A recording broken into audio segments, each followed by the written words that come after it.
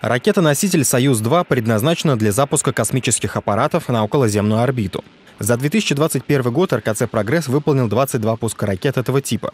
По словам генерального директора предприятия Дмитрия Баранова, в текущем году планируется запустить еще 20. А вот разработка сверхтяжелой ракеты-носителя для полетов на Луну была приостановлена. После представления эскизного проекта заказчику, которым выступила корпорация «Роскосмос», с РКЦ «Прогресс» был заключен госконтракт на выполнение технического проекта. Однако его вскоре расторгли по инициативе Роскосмоса. Сегодня нет единой позиции э, э, для как, какие задачи должен решать э, такой носитель? Э, нет единой позиции по значит, порядку и способу финансирования. Имеются также вопросы, может быть, э, как-то э, ну, пересмотреть облик ракеты-носителей в пользу изделий с э, применением, с большим применением новых технологий.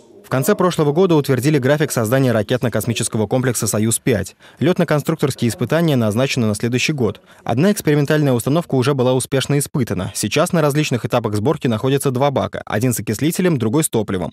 В первом квартале этого года их отправят на испытания в город Королев. Еще один бак находится в завершающей стадии сборки. Его будут испытывать позже.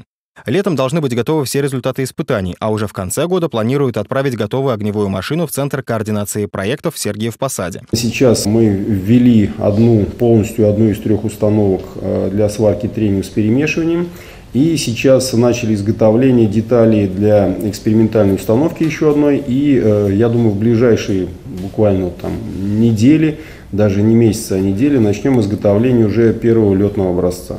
РКЦ «Прогресс» ведет работы над созданием малых космических аппаратов АС-2Т для дистанционного зондирования Земли.